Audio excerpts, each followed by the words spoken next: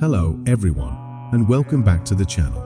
Today, we're going to explore the exciting second episode of BMF's third season, called Magic Makers.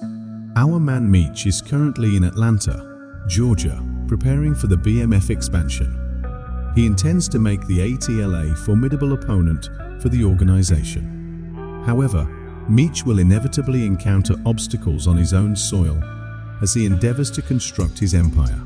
Terry is back in Detroit, making sure everything is taken care of, while Meech is out building, taking care of his family, managing his new restaurant endeavor, and keeping BMF running smoothly are all his responsibilities. What a whirlwind. However, Terry is crafty and fearless when faced with a problem. Friends, things are going to heat up soon. While Meech is establishing contacts in Colombia to ensure a steady supply of merchandise, Terry is confronted with a new adversary in Detroit, a woman named Henrietta, who appears to have ties to BMF competitors.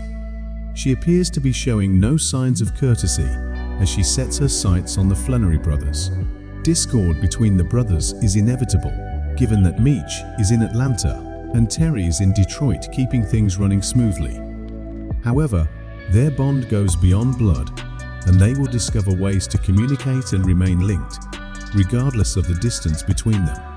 Be sure to hit that like comment and subscribe button for all the latest BMF videos. Share your thoughts on the second episode's most anticipated elements in the comments section. For the time being, be authentic. If you want to see the second episode of BMF Season 3, Magic Makers, mark your calendars for this Friday, March 8th. Actually, it's only a few days away.